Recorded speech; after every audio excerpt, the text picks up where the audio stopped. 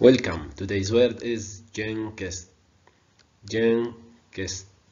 Is, an adjective word. So jinxed means having or believed to bring bad luck. Uh, for example, I must jinxed whenever I was a wine glass, it breaks. So thanks for watching. Goodbye.